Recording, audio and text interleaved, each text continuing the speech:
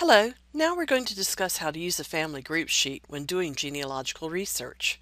For each person on your ancestor chart, you will want to create a family group sheet.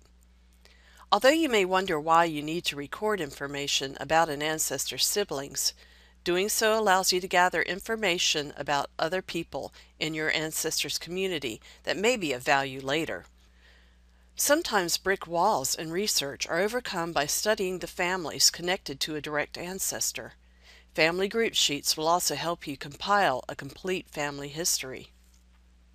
A family group sheet should show basic information about a single family, including major life events and relationships.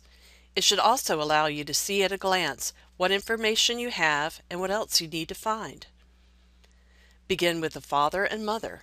Record for each, if you can, full name, date and place of birth, date and place of marriage, date and place of death, burial location, names of parents, and names of other spouses if applicable. Next add the children. Record them in birth order with number 1 being the oldest. Include the name, date and place of birth, date and place of death, marriage date or dates, and place, as well as the spouse's name. Be sure to include your name along with the date you created the document. Also, be sure to cite sources of information that you use to identify family members and their life events. Now that you have an ancestor chart and a family group sheet, we hope that you have a better picture of an ancestor's life.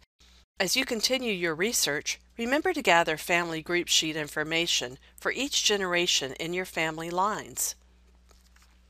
Contact us if you have questions about family group sheets. Thank you.